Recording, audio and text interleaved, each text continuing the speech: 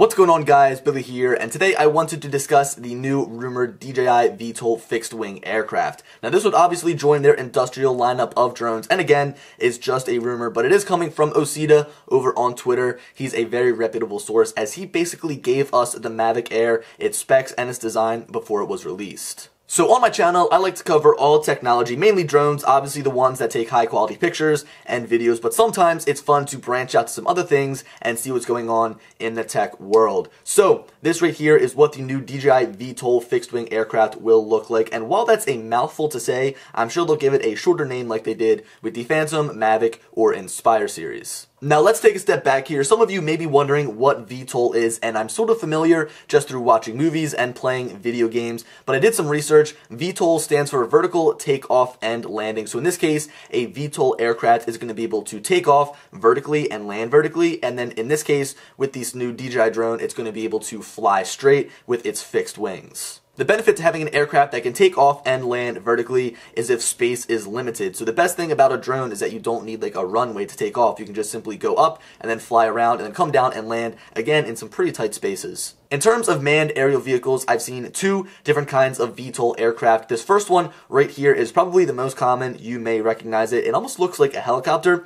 but those propellers actually rotate to propel the aircraft forward. Another example of this is on a jet where the engine rotates downwards to slowly bring the aircraft up and down. Okay, so enough about that. You guys get it. This drone is able to take off up and down and then use its wings to fly forward. Now what I want to do is highlight some of the specs on this rumored VTOL fixed wing aircraft. And again, this is just rumored. These aren't official specs. It could just be based off of a prototype but they do seem a little bit underwhelming to me. So first of all, I want to start off with the price, which comes in at 50 $1,000. That is a lot of cash. We'll be able to determine whether we think it's worth it or not by the end of this video after we go over some of the different specs. Next is the dimensions. So the wingspan is 2,380 millimeters, and the length of the drone, or in this case, I guess the aircraft, from the front to the back is 1,300 millimeters. Now, for reference, a Phantom 4 Pro measured from motor to motor is roughly 380 millimeters, just to give you an idea of the size of this aircraft. Now let's get into some of the flight specs.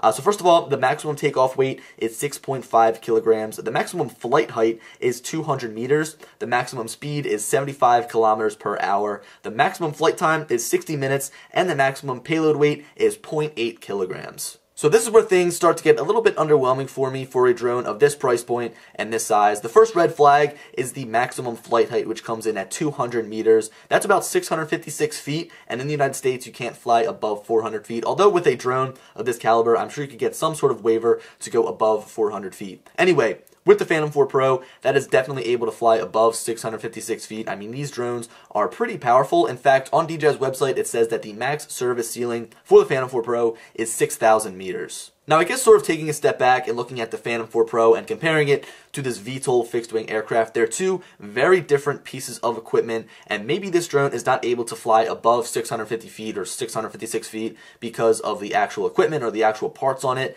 uh, but again, it just seems a little bit underwhelming to me. Another red flag is the maximum payload of 0.8 kilograms. Now I know that this drone only has four motors and I know that it looks like it could be used to do some sort of surveillance with the camera on the front, but I would love to see what DJI could come up with if they made a drone that was specifically made for lifting things. The final spec that I want to highlight is the flight time of 60 minutes. That's probably the one thing that stands out to me and the one thing that kind of puts it ahead of any other drone out there right now. An hour of flight time is a ridiculous amount of time up in the air. And even the little infographic that Osita tweeted out, it said that it's going to have a 12,000 milliamp hour battery. That's a big battery. Finally, as far as range is concerned, we're looking at 20 kilometers over an LB2 slash 4G LTE network. Now, each drone from DJI has their own transmission system. So, for example, the Mavic Pro has OcuSync, the Phantom series has Lightbridge, and looking at something like the Mavic Air or the Spark, those operate off of Wi-Fi. So it seems that with this VTOL fixed-wing aircraft, it will operate on a transmission system that goes over cellular data. Now, don't get me wrong, 20 kilometers is a pretty good range. It's about 12 and a half miles, and it's definitely a step up from the Mavic Pro that's able to fly 7 kilometers. But again, from a drone this size, I would seriously expect some longer range, especially paired up with that 60 minute flight time. This would be perfect for some serious long range missions. So that basically does it for all the specs that we know so far of the DJI VTOL fixed wing aircraft. Here again is that quick list that I made up for you guys if you're interested in reading over the specs one more time. I really wish we had some more information like the cameras available, the exact weight, although I would guess it's pretty close to 6.5 kilograms, which is that maximum takeoff weight. And I'd also love to know just what people are using this thing for. Let me know down in the comments what you think that this drone will fit in sort of some person's business. I mean, right now I think the Matrice drones are like perfect, maybe at add a little bit more range to them. But again, what do you guys think that this is really going to do? Another thing that I quickly want to mention, take a look at this picture one more time. The DJI VTOL fixed-wing aircraft. It just doesn't look like something DJI would design. It looks bulky, it looks awkward, it looks rough. I mean, their designs are usually so aerodynamic and I just, I don't know, it just doesn't seem like something they would design. Anyway, guys, I hope that you enjoyed the video. I'll be sure to keep you guys updated if I find out any more information on this VTOL fixed-wing aircraft. And as always, I'll talk to you later. Peace.